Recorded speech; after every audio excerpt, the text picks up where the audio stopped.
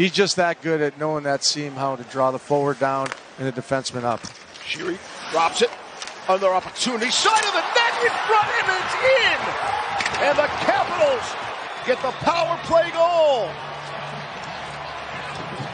This is unbelievable. Alex Ovechkin having a night. Well, no chance. Mrazek's challenging the shot from the slot, and it gets deflected right to Ovechkin. But again, that's another one of his spots. He sits on the side of the net, and you know. 8-14 in, and Alex has two goals.